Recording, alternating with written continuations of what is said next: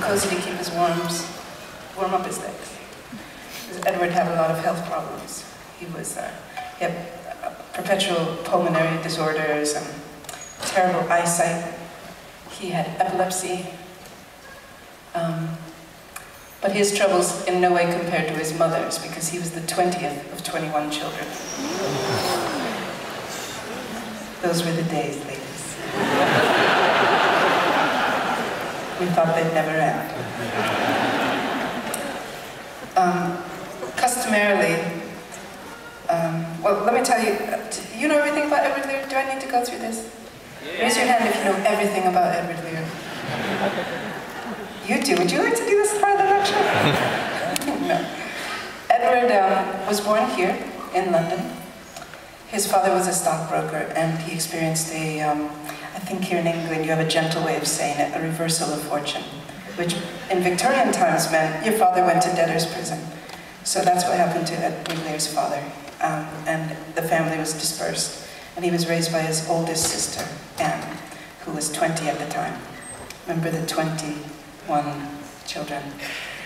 And um, they were genteel, um, poverty-stricken little family. Um, he went to work at the age of 15 as an apprentice at the London Zoological Society. He was um, very skilled draftsman, so he was very, um, very skilled at drawing the animals there. And eventually, especially skilled at drawing birds. And it was his drawings and lithographs of the parrot collection at the London Zoological Society that came to the attention of Lord Stanley of Wolseley. Um, oh, oh, oh, I'm having a brain blockage. I can't remember the name of their, their sprawling estate. Knowsley Hall, correct. it's good to know you paying attention. Knowsley Hall and uh, the 13th Earl of Derby, Lord Stanley, loved little Edward. Edward was more useful than, um, than he was expected. He was, he was hired to document the family's menagerie of over 1,200 animals, but in his spare time, he would come into the big house and he would entertain the children, and he became quite a favorite of the family with his limericks, with his nonsense rhymes, with his, he could play the piano, so his songs. And uh, the Book of Nonsense was uh, published by Lord Stanley for Edward Lear. And customarily, um, I have Erik Della Penna read these in James Mason's voice, but he said that Eddie Izzard does that, so he won't do it here, it's too embarrassing. So he said, well, these are British people, why don't you get them to read them? So, anyone want to read the, anyone want these? Or do I have to do it in a fake British accent? That's what you want to hear? All right. There was an old man with a beard who said it is just as I feared. Two owls and a hen, four larks and a wren have all built their nests in my beard. Exhibit B. There was a young lady whose nose was so long that it reached to her toes. So she hired an old lady whose conduct was steady to carry that wonderful nose. There was an old person of Sparta who had 25 sons and one daughter. He fed them on snails and weighed them in scales, that wonderful person of Sparta.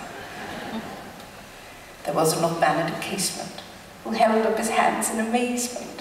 When they said, Sir, you'll fall, he said, he replied, not at all, that incipient man at a casement. And it goes on like this for a while.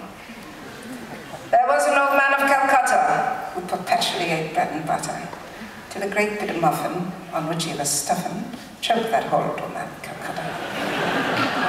so as you can see, hours of entertainment. So pick up the collections of um, nonsense, the complete book of nonsense, and, uh, and you'll amuse yourselves beyond uh, your wildest expectations. We're going to do a poem by Edward Lear called Calico Pie.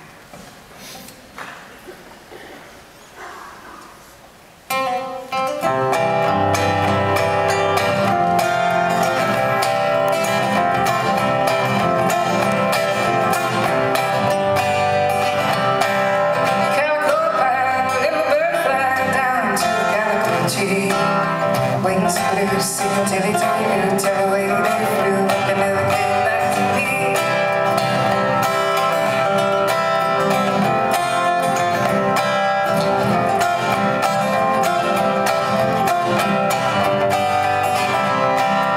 Calico jam, little fish swam, the silver sea.